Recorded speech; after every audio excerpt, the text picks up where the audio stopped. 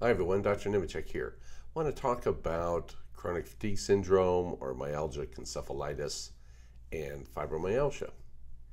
So, very interesting paper recently uh, demonstrating that chronic fatigue syndrome, and again, it goes by also another name, myalgic encephalitis, as well as fibromyalgia, all have a high degree of leaky gut and basically bacterial translocation.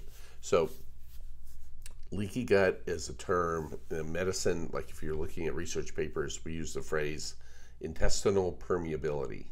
Okay, how porous is the gut? How much can stuff flow through? And then bacterial translocation specifically relates to byproducts of bacteria, and it's namely a molecule called lipopolysaccharide or LPS. This is a, you know, I talked about my birds and fish outline of the bacteria that tend to inhabit the colon. On the outside of these bacteria, they have this LPS molecule, and when they're replicating, you just kind of release it. Okay, it's not really like a toxin purposefully being released. It's just a, I refer to it as bacterial sawdust, like in a carpenter's workshop, just for making furniture, there's sawdust and so just from the colonic bacteria replicating, they're making LPS kind of floating around. Now in the colon, there's no leaky gut.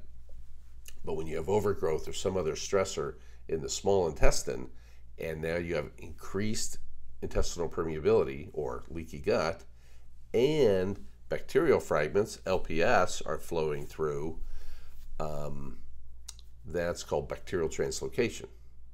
Now, They've shown in both chronic fatigue as well as fibromyalgia uh, that the markers for this are much, much higher than people without.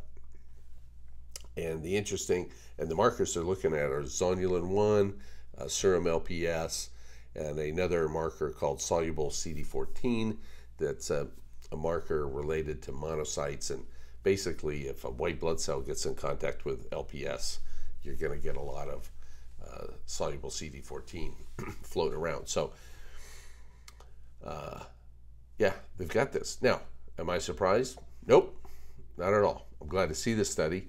Why? Because for a long time, we've been treating people with chronic fatigue syndrome or fibromyalgia and uh, with our basic protocol, and often we'll treat them initially with continuous rifaximin. They do awesome. Awesome.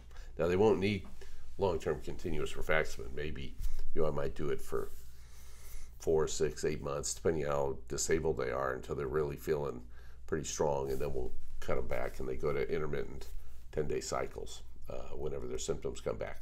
But it's very effective, and now we get some evidence that they do have uh, chronic fatigue and fibromyalgia are really part of the same. There's just different symptoms of the same process, and that process is leaky gut, or as we call it, increased intestinal permeability with the, the leakage into the body of molecules from bacteria called LPS. And these things are highly, highly inflammatory. And the LPS also can uh, get into your brain.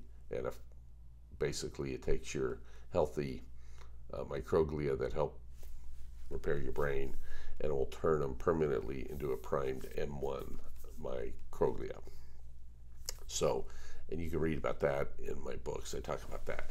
So, anyhow, uh, all you people with CSF, fibro, uh, get on some rifaximin, and uh, you know you you you won't be uh, sorry you did. Take care now, everybody. Have a good day.